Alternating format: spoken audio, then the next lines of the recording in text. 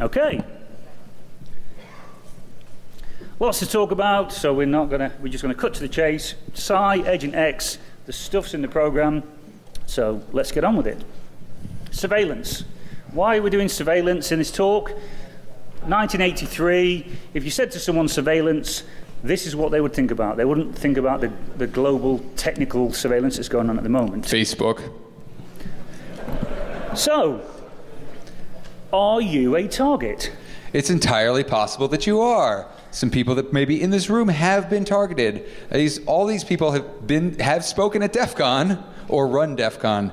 Uh, and where's the pointer? There you go.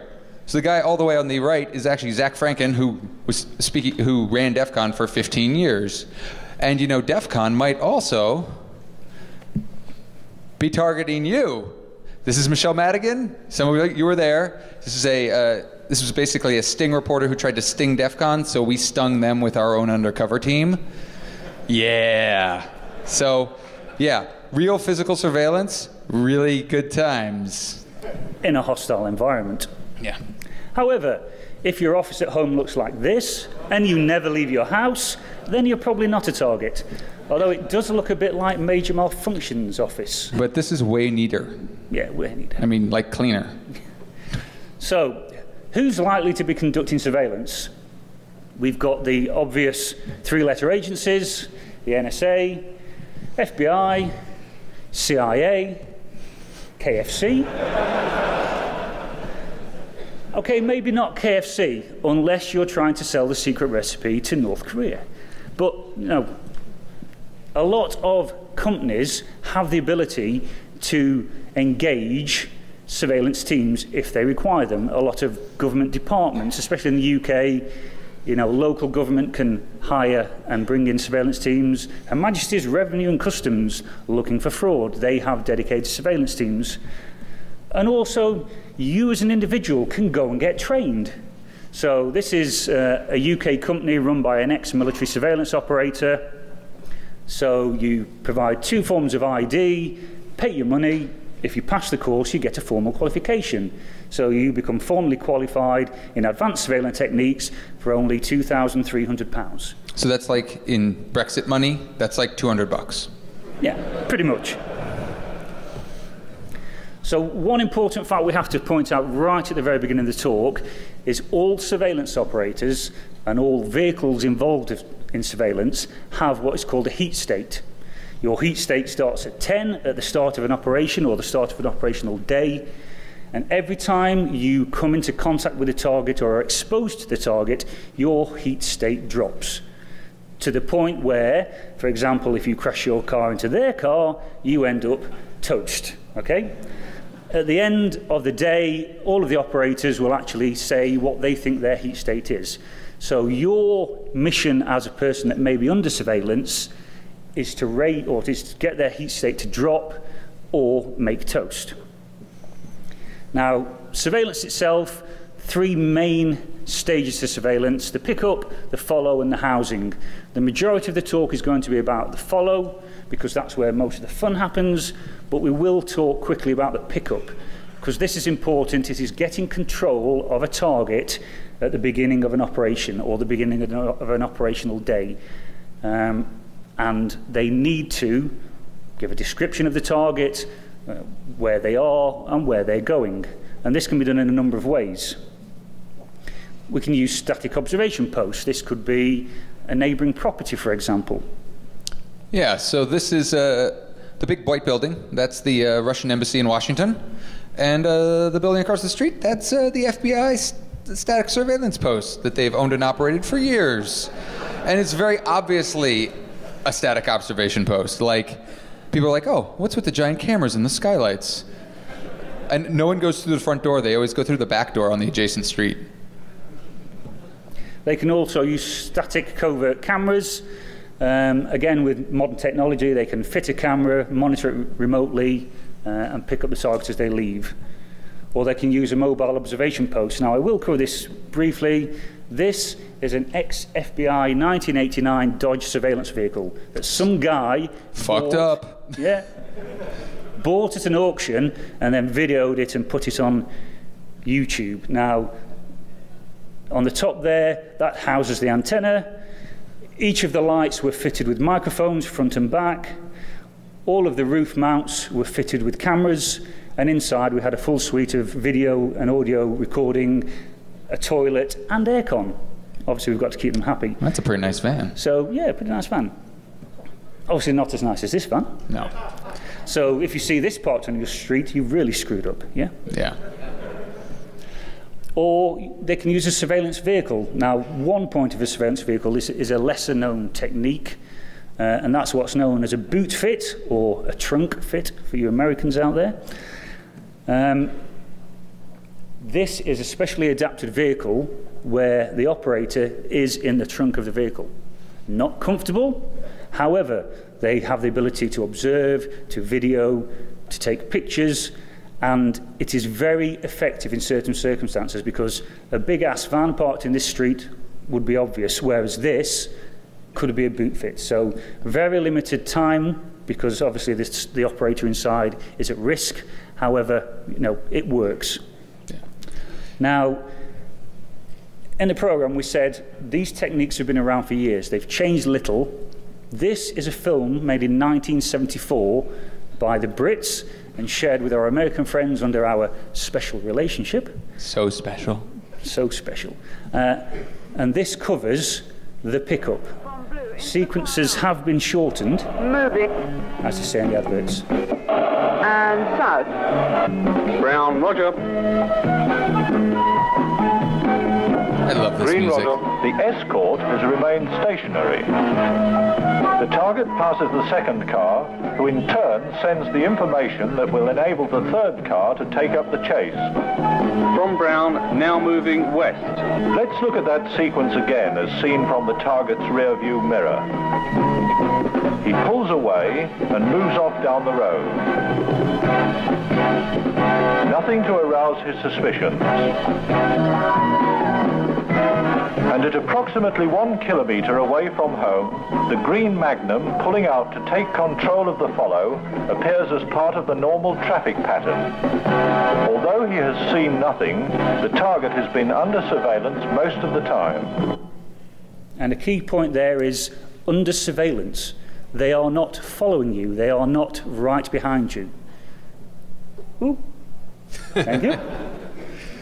Um, so, within the follow, especially in a vehicle follow, you can lose the vehicle. It doesn't matter if you lose a vehicle, especially if you're on a long operation. It's better to lose the target than compromise the operation and make them aware they're under surveillance. Now, you heard them talking on the radios, obviously very old. Nowadays, for brevity, we use brevity codes. This makes it easier for the team to communicate. It also hides things like locations and directions of travel, as you'll see, because if they're not using encrypted communications, you can intercept this, and anyone listening might be aware of what's going on. So here we see standby, that's the target, out of his house wearing a red baseball cap, blue top, grey trousers, and black shoes. Target getting into his car. Now moving off, turning left toward the junction of High Street and Water Lane. Now, anyone listening and picking that up on the radio knows exactly where that person is and what direction they're going. So we use brevity codes 77 Alpha 1 from Charlie 1, blue on grey, black shoes, red cap. Complete Bravo 1, mobile 9 1, yellow 2. Sounds gobbledygook, but the team understands. The last part there is using what we call spot codes, which are on spot maps. And again, for ease of reference for the team, to be able to give the location of a target and a direction of travel, rather than saying that they're on this road, travelling towards the village of Earl Shilton, as you can see here, we can simply say, at red 6, intending right, committed 9-1 red 5. Everyone understands where the target is and what direction they're heading. And so this is kind of gets to something. We have spot maps made up for the entire operational area. Everybody, every car of how many? What? There's like how many cars? Potentially eight vehicles and 16 operators. Yeah. So you're looking at binders full of information, rapidly put together with a big team. This is not a cheap thing to do to, if you're doing it right. Um, it involves lots of teamwork, and when you can make a lot of toast, you can help break that team up and thus ruin their effectiveness. So what are we looking for behind us if we think we're under surveillance? Obviously, they're going to be in a vehicle. If you're in Texas and they're all driving pickup trucks, they will be driving pickup trucks. If you're in a city, they will be in a sedan car. They will blend in with the environment.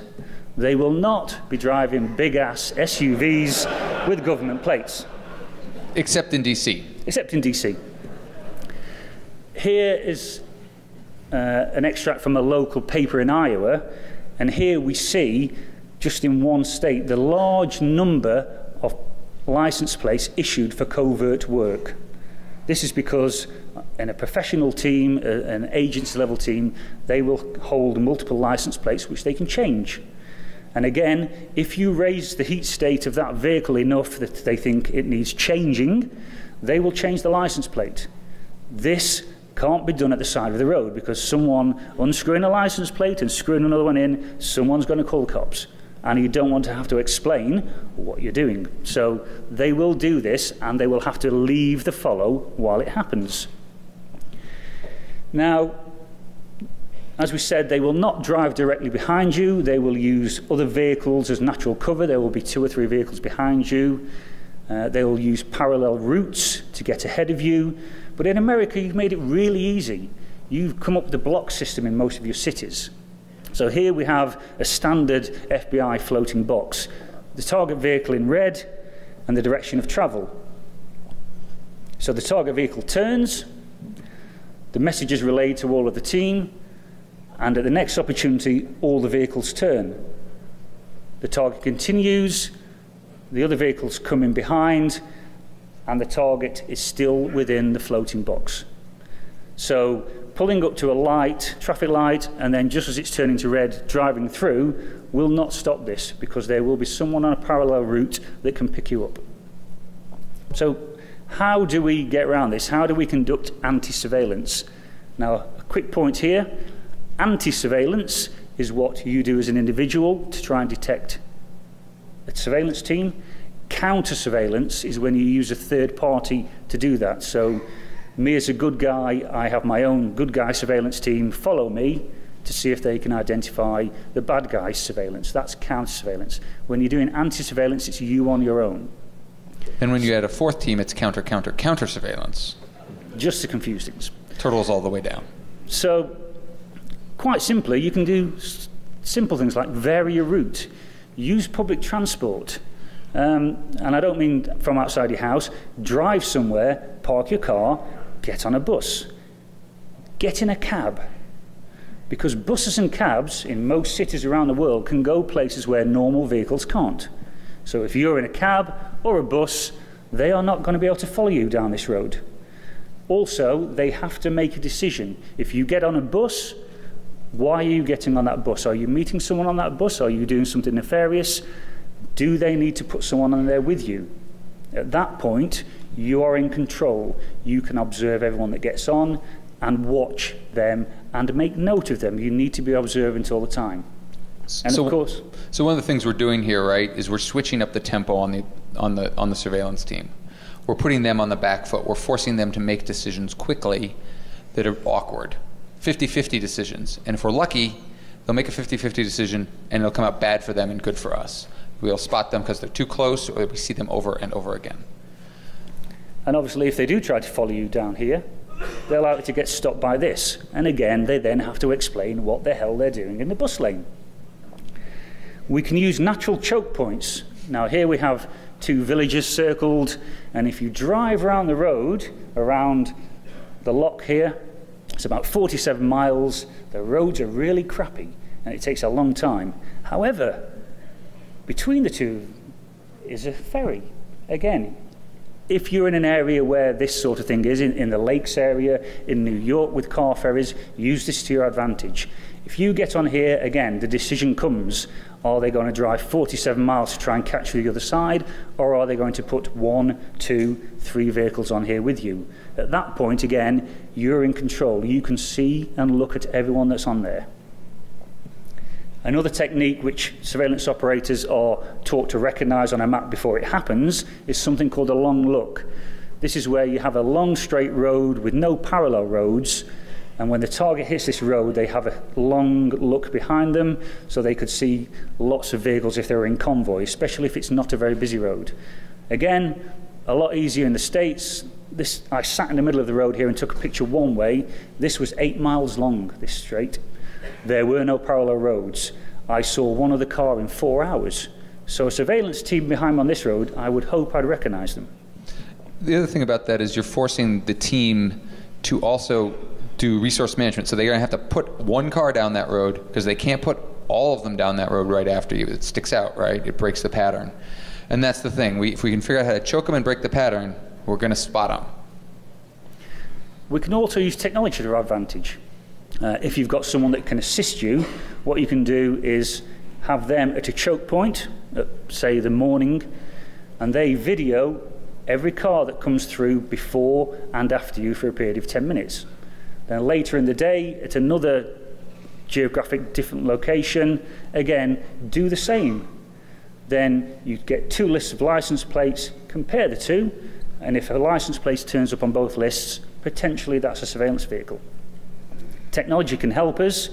So the OpenALPR program, Automatic License Plate Reader. So this is a bit of footage I took with an iPhone in real time, there is the image in the bottom right hand corner. That's me running the image file through the software. Now, the software reads the image file frame by frame. So you will have multiple instances of the same license plate. So, again, we can use technology. We can run the software, extract it to JSON, convert that into uh, a SQL file, and that's not playing. Thank God we recorded the demo. Uh, yeah, and that is recorded. So the other thing, we, while, while this is running, there's other tools that do this. Amazon's facial recognition project, Rekognition. If you can do it for car, cars, you can do it for faces, right?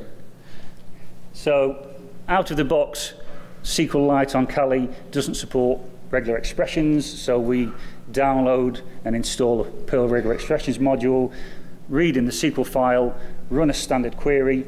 Uh, we're using a regex here for the standard UK current license plate, which is letter, letter, number, number, letter, letter, letter. And as you'll see in the first set of results, you get some license plates which are quite similar. That's due to misreads in the software where the image might be slightly blurred and it can't recognize it. So to get around this, you can just do a standard SQL count, and where you've got two similar license plates, the one with a higher count will be the real number. So we've now driven to where we're going to meet our contact, to pick up our data, and we're going to park. And again, parking is a choke point. You're in control. You choose where to park they have to decide whether they're going to park in the same car park as you because you may spot them. They may, especially if you go into a multi-storey car park again, that's a choke point where you can observe. Now, there's a misconception which comes from law enforcement uh, and the military that you must always, when you're doing this stuff, park your vehicle in reverse for a quick getaway. Surveillance operators are trained to blend in. The grey man. The grey man. So if everyone's nosy parked, as they are here, and you reverse park to someone that's surveillance aware, automatically your eye is drawn to that vehicle. Why is it parked differently? Again, we can see here, and to someone that is more observant than the rest of us, there's the one that's parked wrong. And how about that one? Anyone spot the one car that's parked in the opposite direction? It's right in the middle of the screen, dude. Right in the middle of the screen. So, yeah. Again, if you're in a cab, you can get the cab to stop wherever you want. Drop me here. And if there's no parking, what do they do? If it's in a restricted parking area and they abandon their vehicle, they could lose their vehicle. Explain that one to your boss. You're, and so what we're doing is we're, we're adjusting the tempo, right? You jump out of the cab, at the unexpected at the at the cross drive, which we've all done. I hope. I mean, this is Vegas, uh, and uh, you, you basically force them to go from transition from a car tail to a foot tail, right? And they don't necessarily have assets that close and that quickly available. So it's gonna it's gonna mess things up for them. It's gonna make them make bad decisions. Now, when you're returning to your car, again, gives you a chance to observe, to look in the cars as you walk past. We said they're professionals, but they're also human, and humans do make mistakes. Um, so if you see maps in there, you may see other paraphernalia, uh, and this is a true story told to me by uh, a friend. Two surveillance instructors, not students, instructors, were visiting students on a covert observation post course, and they parked their vehicle and went on foot. Someone reported the vehicle as being suspicious, so the police turned up. The police looked in the vehicle, and sticking out from under the seat was a handset, not the sort of thing you see in a car in the UK. So they waited until they came back. And yes, explain to them what we're doing with our special card that says, please don't arrest us, we're doing surveillance training. We're cool. We're not criminals. We have a card. It's cool. Yeah, honest. Honest. Um, and, and one of the one of the clarification questions we were asked when we submitted the talk is, you know, why old school vehicle surveillance? You can put a tracker on there. Well, yes, you can, but if they're a technical uh, adversary, they can detect that. If they detect that, they know they're under surveillance. Also, yes, it's great. He's stopped at the mall, and I'm a mile away. So he's out of his car and in the mall. You get there. Where is he? Right. The whole point of vehicle surveillance is to have enough people in contact with the target so that when he stops, you can deploy onto foot and continue the follow, purely and simply. The, the point of surveillance isn't to know where people go, it's to observe their behavior, right? What we're looking for is to see them doing the deed that made them interesting in the first place. So technical surveillance, you know, metadata surveillance is great. You know, Jimmy goes to Fry's every Tuesday and buys a hamburger. But frankly, that's not what we care about, right? We want to know who he, who he has, who he shares his, you know, hamburger with. So we're out of the car, we're walking along, they're out on foot. What do these people look like? Fucking badasses. they always look like this. Media has told us that they always are gigantic, badass white males. With short hair. Yeah, and big watches. So if you saw these two guys in the street, you'd think, oh my God, I'm under surveillance.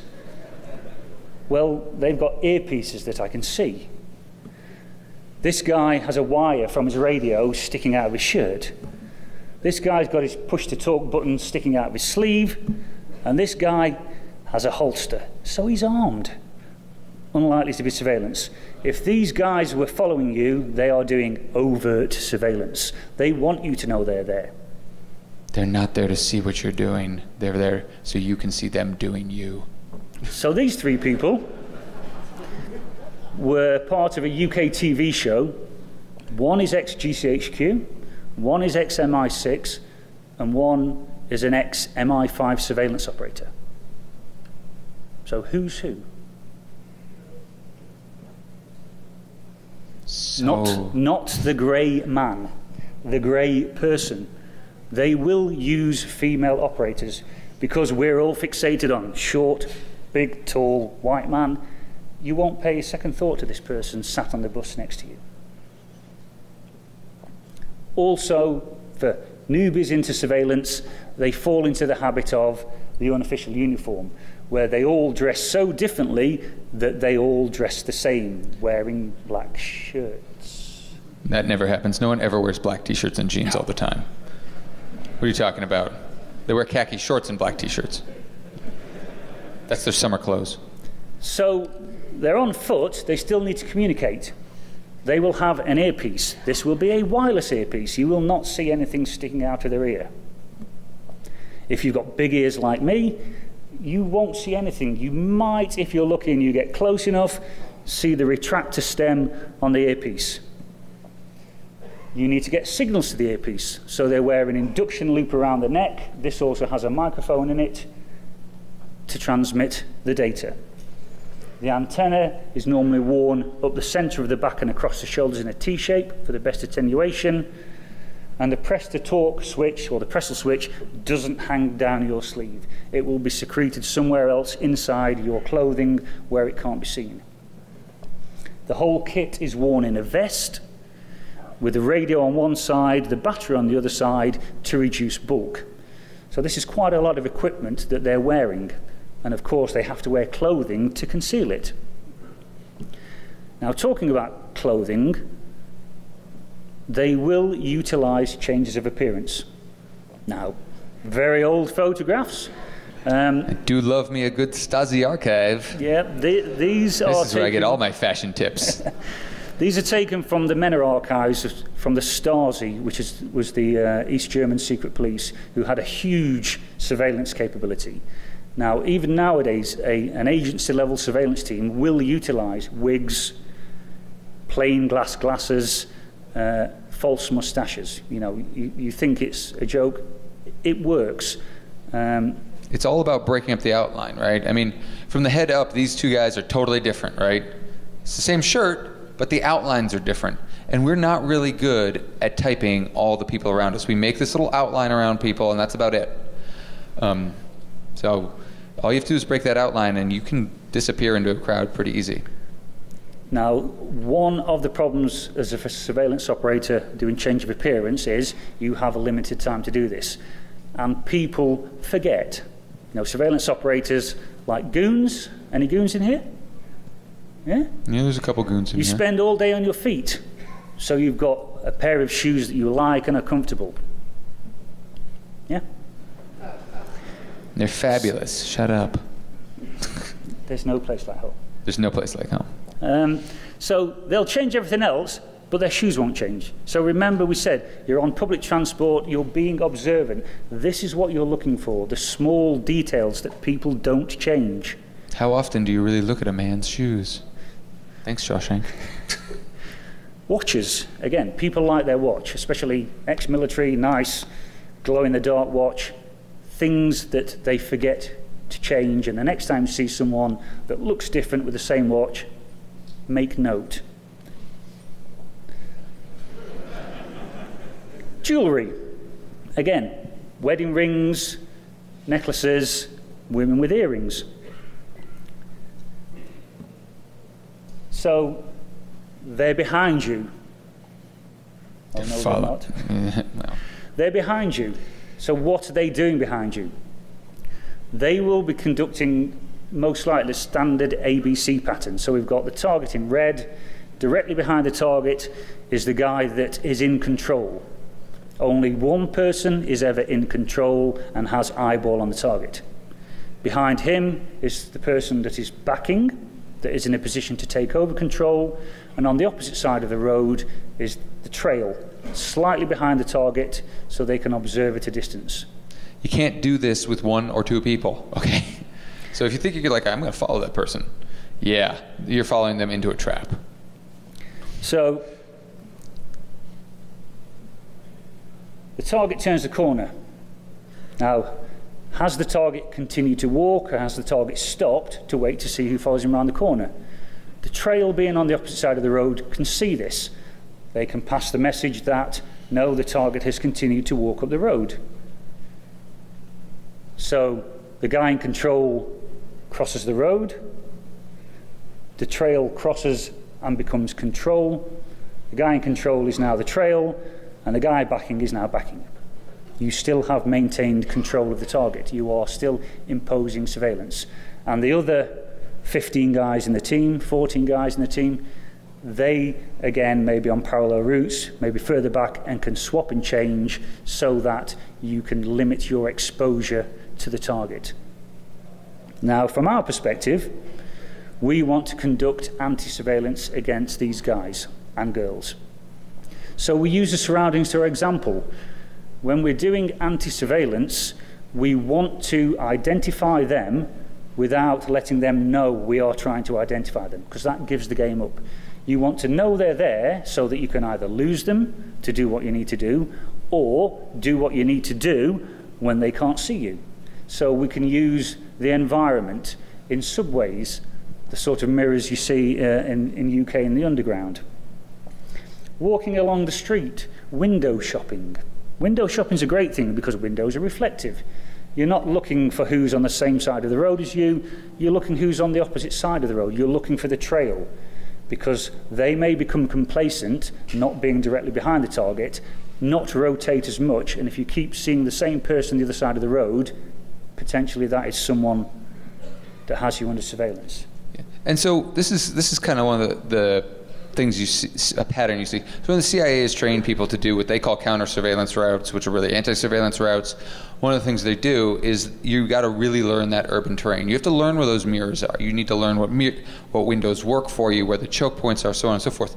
So they really do invest a lot in having case officers really, really well know how to really well run their anti-surveillance routes. Um, and to the point where case officers are like, I've been running anti surveillance routes for three months now. When do I get my job? So you are in control here. You choose the environment, you choose the place. Again, if you're in a, a large mall, get on the escalators. It's natural for people to stand on the escalator and turn around and look around them and look behind them and talk to their friends. Gives you the opportunity to see who's one story below coming up. Now, we all carry mobile phones, so why would you want to use one of these? Use a payphone. It gives you a reason to stop. It gives you a reason to look around you. Surveillance operators are trained, if the target stops, they need to have a reason for being there. So they don't just stop and turn their back and pretend they're not there. You know, they'll go into a shop or they'll go up to a store or they'll walk to a phone and pick it up and pretend they're doing something else. But you've already used that. They've got to find somewhere else. This is, this is called cover for action, by the way. It's basically the reason you're there. You all know the answer to this one. It's you ha- I'm here, I have a switch, and I'm here to put the stuff inside your network. You have a cover for action. There's a reason you are in that environment, and it's natural and smooth. So break that. So again, we can use natural choke points when we're out walking. You know the area. You know this is a one-way street and the only thing down the bottom of this street is a coffee shop that no one goes to. So anyone else walking down that street behind you is someone you're interested in. You could have areas where there is only one point to get from A to B that they have to transit through. Again, they would then have to take the long way around or push everyone through there, which gives you the opportunity to observe. Things that are less obvious. Most guys don't like to go in here unless they're with their wife or girlfriend. So if I go in here and another guy comes in, I'm interested. Well, yeah, I'm interested in him. Oh, yeah. Oh, yeah. Well played, sir. Well played. Indeed. But they have women in their teams, so they could put a woman in there, and that's not suspicious. Yep, but she's not following me in here. Yeah? Again, make them make decisions. Why are you going in here? It may be obvious, but it may not be. Uh, in, in the Cold War times, these were places where packages were placed for people to go in and retrieve and collect data because people don't like to follow people into the men's room. So use it to your advantage. Again, if someone comes in there, it just gives you the opportunity to make a note of them and what they're wearing. Elevators. Firstly, would you get into an elevator with these two people? They seem so unhappy. They are going to have a fight. So strange. Um, again, they have to make that decision. Do they put someone in a small metal box with you, at which point they are this far away and you can have a really good look at them? Also, if you get in an elevator and no one gets in behind you, press three or four floors and get off at your floor. And no matter what you see in the films, they are not going to run up 15 stories worth of stairs to beat you to the top. It doesn't happen. It also gives you a chance to make toast. Engage with them. If there's someone in there that's a bit suspicious, you think might be a surveillance operator, you turn to them, and, it's, and this is the key thing, in your best British accent, you say, Excuse me, my good man, my watch appears to have stopped. Could you tell me the time, please? But why a British accent? I mean, We have awesome accents too. Have you ever noticed how in Hollywood movies all the villains are played by Brits? Maybe we just sound right. We're more focused, more precise, We're always one step ahead. and we're obsessed by power. We all drive Jaguars. Oh, yes. It's good to be bad. Oh, Enough said? didn't know. Thank you. So we move on to hostile environments. This isn't Afghanistan or downtown LA. Again, we're using the environment to our advantage. This is Agent X's favorite hostile environment. No one's surveilling me. Well, they are, Yeah. but I'm wanting them to. Remember, they're wearing all this kit. They have to wear enough clothing to cover this kit. They ain't getting in the pool with you. Or the Turkish spa, by the way, is also really good. We can always use, also use misdirection. Again, they are looking for you to have interactions with people. They are trying to identify who you are meeting. Use this to your advantage. So, when you meet someone in the street, shake hands with them. Or when I'm meeting my friend Trevor for a milkshake, I normally give him a, a big bro hug. Yeah. Or a full on Jayson Street awkward hug or stand next to someone that's more of a target than you are. Yeah, that's that's a classic trick. This worked for me for years. Again, use the environment. Go into a cafe. You control the environment. You can choose where to sit. You can see everyone that comes in. Make a note of everyone that comes in. When you f- read a paper, when you finish, take that paper, fold it up, and put it on the side and leave. Put it in an awkward kind of special spot, Yeah, so like between the planters, right? so it doesn't get tidied away. They now have a decision. Has that paper got something in of importance?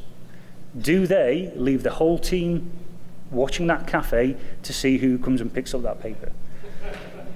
So awkward. And here's Or- the thi- here's a, here's a, here's a, here's a pro tip, by the way.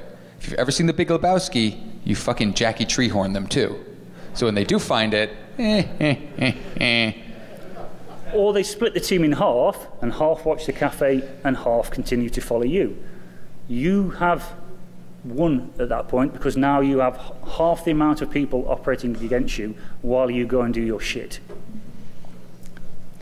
We can also use their techniques. Um, remember from the start of the thing, we gave a description of what the target looks like.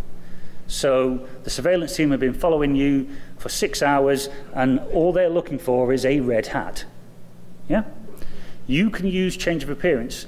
Now, while I'm not saying carry wigs and mustaches and shit with you, just Doesn't work if you're not a pro. It's really embarrassing when your face falls off. Yeah. Take a bag, take your coat off, take your hat off, and then you change your appearance. Maybe not your political persuasion, but just your appearance. Now you're saying this is old school, which is where we are. This shit doesn't happen anymore. This shit's happening on Tuesday everywhere. So here we have Richard and Cynthia Murphy. They're so wholesome looking. so wholesome. They loved barbecues. They had two small children. They lived in a small town in upstate New York. The neighbors thought they were lovely. They like hot dogs. Come on. They were actually Vladimir and Lydia Guriev. they were deep cover Russian operatives that had been in the country since either the late 80s or the early 90s. Their children were born in the country. The Russians were playing the long game. They came on the radar of the FBI. They started an operation against these people. And as a result, they identified a total of 10 deep cover Russian operatives. Look at how unhappy all these people are. That's because they got caught. Um, they were conducting surveillance against these people for nearly 10 years. Surveillance is a long game because you want them, you want their handlers, you want their handlers' bosses, you want everyone involved in that team. You also want their side. You, want- you want to know what they're how they're operating, right? Because everyone everyone in the surveillance game is playing by the same playbooks, right? So the the way the Soviet, Soviets, sorry, the Russians surveil, or the way we surveil, is exactly the same, right? It's the same team makeups, it's the same stuff. Because it's really like a bicycle. It's got an optimal form. We're just going to run with it. There's not a lot of crazy change-ups that they run.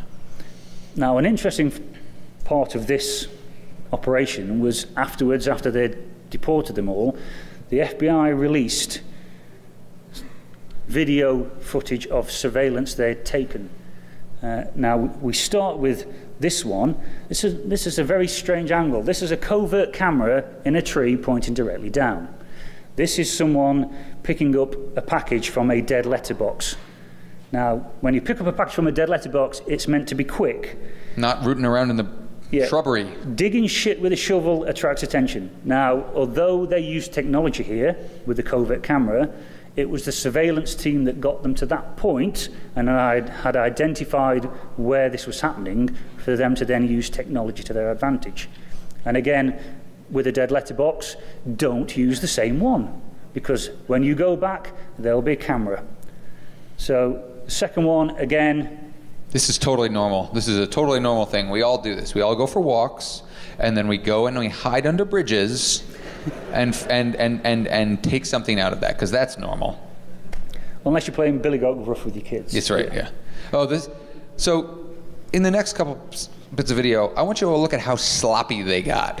We all have seen these techniques. These these are pros. Literally, their life is on the line, and they've been doing this for ten years. This is what pros look like. This is a brush pass. This is meant to be two people carrying the same item in a busy, crowded street.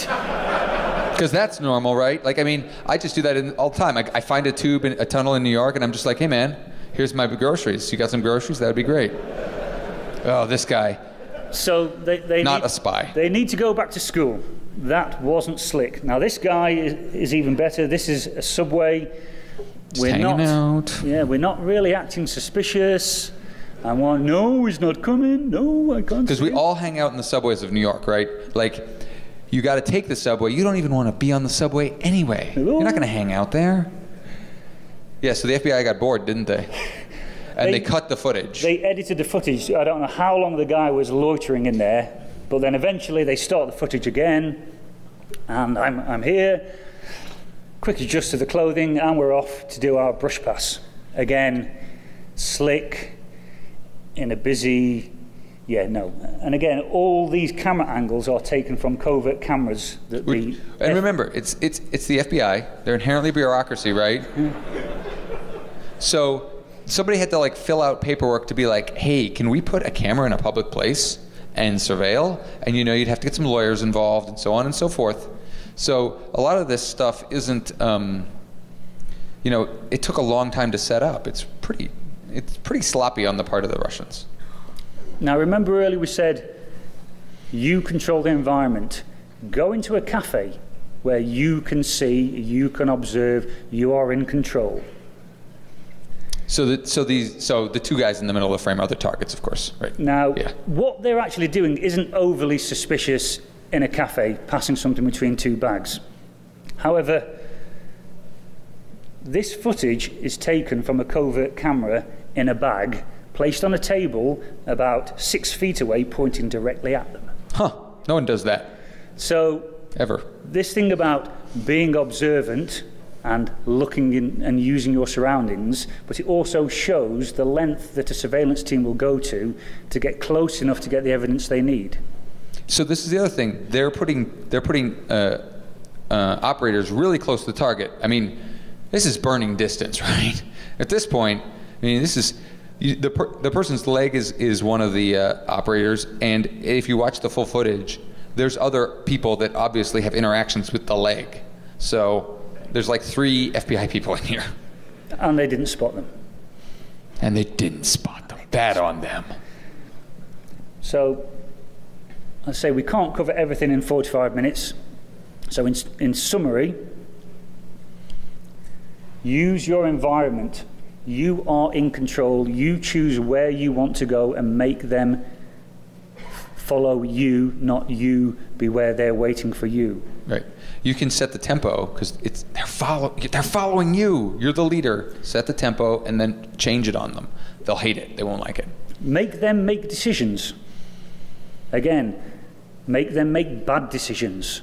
So they are showing out, they are making themselves obvious to you as the target.